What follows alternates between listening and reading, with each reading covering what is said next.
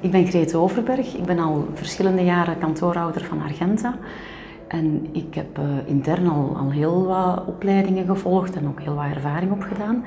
En ik had toch nog behoefte om deze opleiding te volgen, om een, een breder kader te zien, ook een, academisch tintje eraan te geven. Een insteek vanuit verschillende proffen en verschillende hoeken, om, om mijn uh, wereldbeeld over die moeilijke materie toch wel wat breder te maken. Mijn naam is Jijsa Gommers. Ik ben deze master gaan volgen omdat het eigenlijk heel breed is. Um, je krijgt les over zowel het uh, financiële luik, de beleggingen, maar ook het fiscale en het juridische. En dat zorgt ervoor dat je eigenlijk echt een, overzicht krijgt van alle mogelijke domeinen die dat, um, van toepassing zijn op financiële planning. Iedereen van ons um, is eigenlijk werkzaam in andere sectoren of in andere soorten van functies, wat dat ervoor zorgt dat er wel heel wat geleerd kan worden van elkaar en dat iedereen ook andere voorbeelden kan aanhalen uit de praktijk. En dat is wel interessant om dat vanuit die manier samen te leren. Vandaag hebben we les van Jos Ruisenveld, iemand die we eigenlijk van onze vooropleidingen ook al een beetje kennen vanuit de, de boeken. En um, nu kunnen we vanuit zijn dagelijkse praktijk veel verhalen horen en dat maakt het voor ons heel tastbaar om, om moeilijke materie die op papier ook heel moeilijk leesbaar en te verwerken is, heel concreet uh, te horen.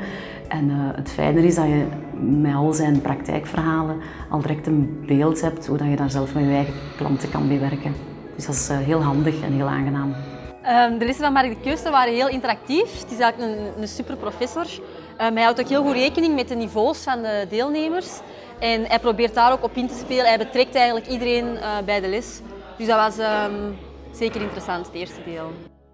Praktisch nut van deze lessen is eigenlijk al um, vanaan de eerste les merkbaar. Elke les, elke dinsdag die ik er ben, leer ik een aantal dingen die ik de volgende dagen al in praktijk kan omzetten. Of ook een aantal dingen die ik eigenlijk al wist, maar die ik nu beter durf of, of beter kan implementeren in mijn dagelijkse praktijk.